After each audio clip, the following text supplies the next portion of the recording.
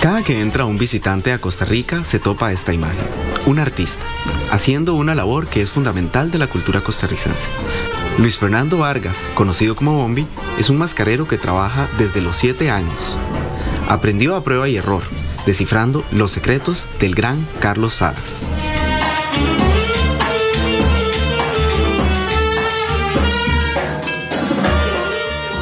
Conversando con él, recuerda su primera máscara e incluso su primera venta grande. Claro que era un cerdo, pero es, es un pacho ese.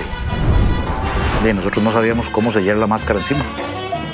Entonces nosotros íbamos todos felices, grandísimos, a, los payasos. Sí, pero se viene el aguacero y empezaron a caer papeles. Yo la casa sin nada. Se desarmó todo.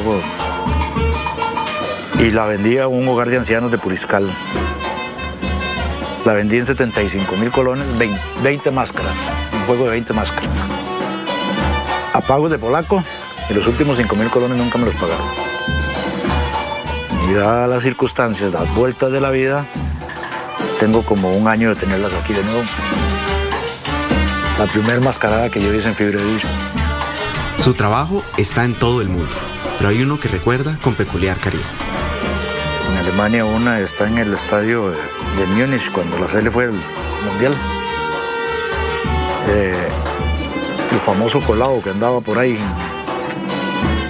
iba para allá y entonces me, contactaron para hacer un, un, campesino. ¿Y cuál fue la sorpresa que la dejaron en el, Museo del Estadio de Múnich? ahí está. Esta labor se la ha otorgado a toda su familia y comunidad.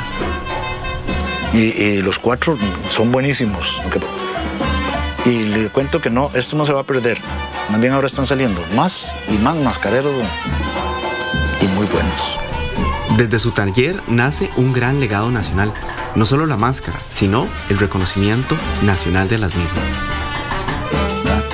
De aquí, sí le cuento, de aquí, de este taller salió el, el escrito para que las máscaras fueran símbolo nacional. Pero hey, aquí estamos, haciéndole, poniéndole.